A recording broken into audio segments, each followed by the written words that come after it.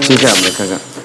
吃的不安心，爱吃这些，当心也吃出毛病来了哦。之前在门诊有碰过一个才才三十出头的一个上班族的男生，他是由诊所转介要来医院做进一步检查。那主要问题就是他这阵子长期的腹泻，他本来是便秘的体质，那后来变腹泻，所以诊所医师觉得这个不太对劲，而且他体重有减轻，就建议说要来做进一步检查。那我了解之后，帮他安排大肠镜检查，我就呃很简单的就说，嗯你这样体重减轻，那有一个排便习惯改变，通常排便习惯改变是最麻烦的问题，就帮他做检查。就检查照出来的时候，图案一打开来，那患者一看自己也觉得很紧张，因为他的结我们正正常人的大肠啦，大肠黏膜壁都是粉红色的或者是鲜红色，它做起来就是我们所谓的黑结肠症，整个肠壁里面就像我们有个图片，就像是被熏黑的一样的肠是肠子啊，对，这是肠道的内内膜了。那那个这个黑不是说你多喝一些水或什么就可以把它冲洗掉，所以你在肠镜检查的时候你也冲刷不掉。那这个也不是说你有什么多喝一些咖啡、巧克力吃多会变成这样，结肠会变黑。但是张医师应该很常看到，就是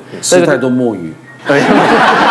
猪血糕之类的。其实这个那个那个都不会让那个肠壁黏膜整个都好像色素整个沉着上去，这是因为他吃了很多有一类的健康食品，就是帮助清体内，譬如说呃排毒啦，或是油切啦，可以帮助排掉很多宿便。他想要减重，想要健康，有个叫番泻叶的东西，前一阵子很多人在讨论番泻叶、番泻干或番泻叶萃取物做成的胶囊或是茶袋。那个东西吃了，你吃了几个月之后，它为了帮助是没有错，它是可以帮助排便然后帮助排便，而是对黏膜造成伤害之后，你的结肠就会变得像那么的黑，像被熏黑了一样。嗯，那这个其实不会是一个很危险的问题，因为它不会说真的会有癌变什么。那现在的研究发现，它跟大肠癌的关联性没有那么的大了，没有那么的可怕。可是毕竟它造成黏膜的伤害，这个也是要慢慢的时间给它新陈代谢才会恢复的。那可是有些研究也会告诉说，或许以后黏膜病变了，也便会有癌症的可能性，可能关联性还是要再去强化。哎，这个我补充一下哈，这种东西其实很常见在台湾的女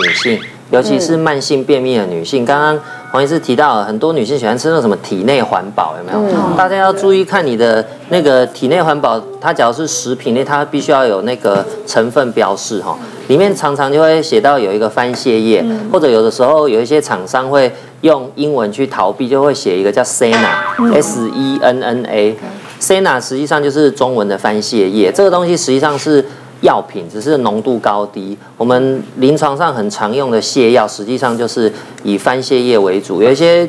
民众假如吃过那个咖啡色的。一颗一颗圆圆的小泻药，那个就是番泻叶，只是它的浓度高低，浓度高是药品，浓度低是食品，所以有一些体内环保的东西要特别注意。那像刚刚黄医师那张照片，它那个黏膜表面其实它旁边还是有长息肉的，只是那个息肉看起来像是一个增生型的息肉。为什么黏膜会变黑？因为那个我们这个大肠黏膜的那个巨噬细胞哦，会去吞食这些番泻叶成分里面的一些物质，它会形成一些像像 hemosiderin 的一些血铁质的沉淀物，它就长在黏膜里，就慢慢你黏膜就发黑了。然后有时候呢，吃中药也会。我有个病人，他是一个中医师，他本身很有名，他病人很多，他自己常年在吃中药调身体，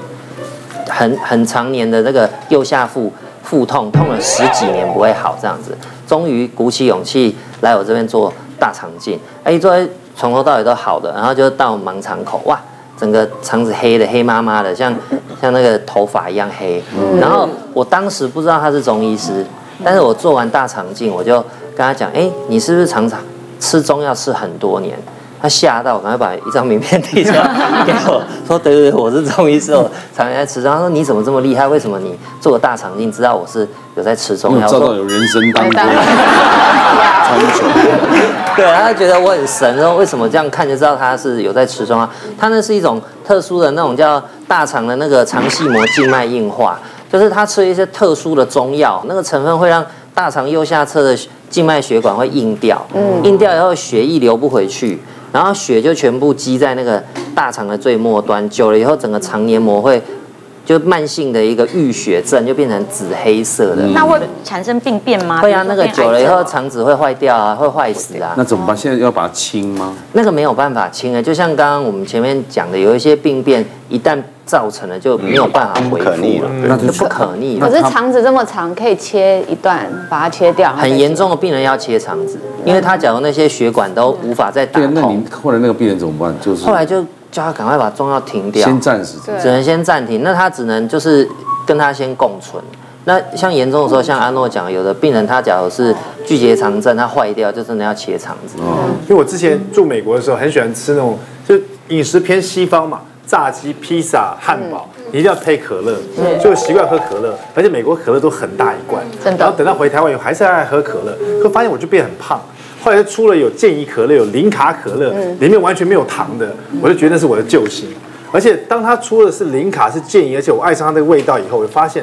你到了手上都不会黏黏的，它没有糖嘛，所以我觉得哎，这可以当水喝，因为它比水还好啊，至少它有一个口感，它有一个刺激的感觉，它像气泡水一样，我就每天把它当水喝，这样子喝下来，在一年以后啊，我本来是想要靠零卡可乐瘦下来，因为从正常可乐换成零卡可乐应该会瘦，嗯嗯，就我反而那一年胖了十公斤，胖了十公斤，然后我觉得我搞不懂为什么喝零卡可乐反而会胖呢？然后我这整个去去找医生看，然后去问人家营养师，他说，因为我发现我在喝零卡可乐这一年当中，我突然养成了喜欢吃甜食的习惯，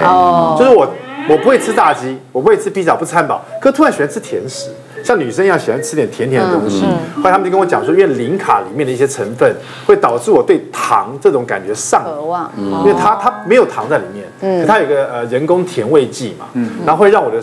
味蕾，让我的身体去习惯喜欢喝甜甜的东西，喜欢吃甜甜的东西。就后来我就连零卡可乐也戒掉了，我就真的后来瘦回来了。吃进去的还有一个一定要提醒，就是反式脂肪，因为现在目前反式脂肪，呃，因为这次的这个癌症五分钟就有一个，那第一名是大肠癌，第二个是肺癌，第三个就是心癌新闻。说已经提早五分钟了。对对，所以呢，一定要提醒这些呃，有一些这些小点心哈，其实都很好吃，但是都是含反式脂肪的。之前我们遇到一个女孩子，哎，她觉得她的饮食都很健康，可是他就得到乳癌，他很不能接受，他拿他的那个饮食记录来给林医师看，就林医师看一看，他就特别喜欢吃一些那种呃酥酥脆脆啦，还是那个有 有什么呃派皮的那一类的东西哈、那其实呢，这个东西可能含有的就是反式脂肪，所以除了这些呃大型的污染这些问题之外，其实反式脂肪我们一定要控制。哦，我我之前碰到一位三十几岁的年轻女性啊，啊，她是那个神经科转给我的，啊，转给我就是她在神经科被诊断出类帕金森氏症，嗯，然后对，就想说这么年轻就被诊断出来，可是转到我这边是因为同时发现她的肾功能也不好，有尿蛋白，